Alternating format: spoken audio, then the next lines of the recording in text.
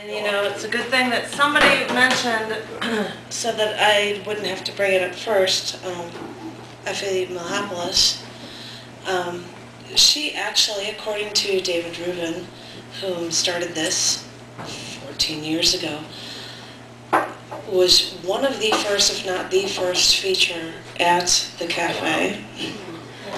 And, uh, and one of the, you know, the few times the, I had, you know, known of her many years before actually meeting her because I would have things published in Art Life limited editions and they would list people and the state that they were from and she was the only other person from Illinois that would be listed in it. I'm like, Effie, you're the only other one from Illinois after I'd find that out.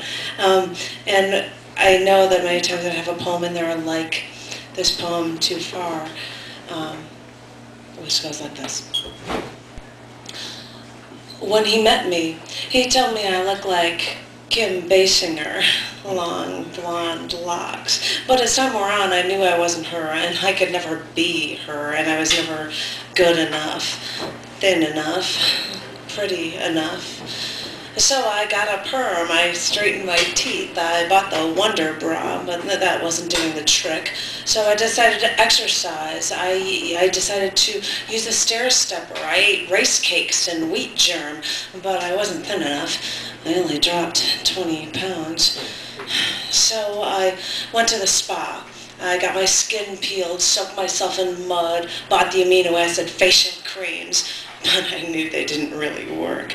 So uh, I went to the doctor and got my nose slimmed, my tummy stapled, my thighs sucked. Thought about getting a rib or two removed, you know, like Cher. but I figured they've got to be there for something. And hey, that's just going too far. so, thank you.